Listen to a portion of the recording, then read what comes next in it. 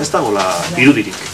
Ez dago e, grabadorik, ez dago ba, ondare asko ezabatutak. Ez da gauza berria, eta ez da kasualidadea. E, ematen du Euskaldunak ikuste zineak garela historian zehar, ez? Eta, bueno, ez gara bakarrak. Herri indigenak eta minorizatuak eta hori, ba, askotan e, sufritzen dute olakorik, ez? Eta emakumeen kasua oso oso agerikoa da.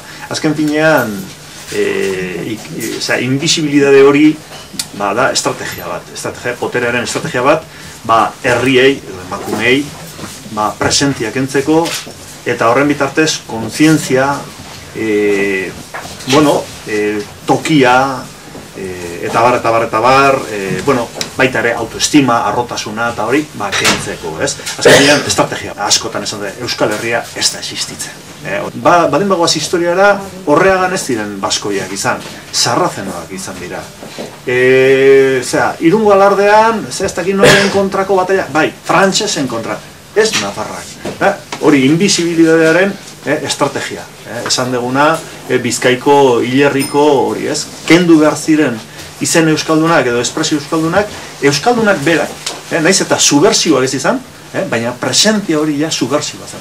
Eta bueno, kendu bertzen.